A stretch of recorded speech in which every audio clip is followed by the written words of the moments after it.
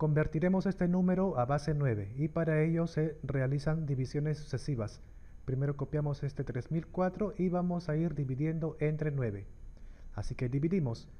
De 9 para llegar a 30 sería 9 por 3. 9 por 3 es 27. 30 menos 27 es 3. Baja el 0. Otra vez por 3 entonces. 9 por 3, 27. 30 menos 27 sería 3. Y baja el 4.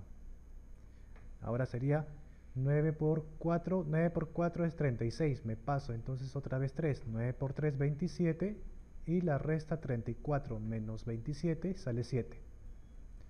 Ahora a los cocientes voy a seguir dividiendo entre 9. Sería entonces, a ver, para llegar a 33, 9, 9 por 4 es 36, me paso 9 por 3 entonces, que sería 27. 33 menos 27 es 6, baja 3.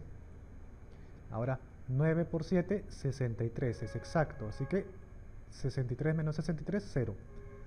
Acá dividimos otra vez entre 9, sería 9 por 4, 36. 37 menos 36, 1. Ahora el 4.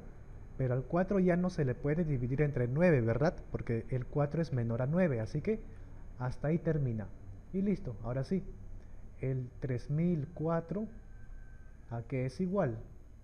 Vamos a copiar desde acá, desde el último cociente. Vamos a copiar este cociente y también estos residuos. Desde acá, siempre en este orden. Primero el número 4, después el 1, el 0 y al final el 7. ¿En qué base? En la base 9 porque hemos dividido entre 9. Listo, ya hemos convertido este número entonces a base 9. Fin del ejemplo.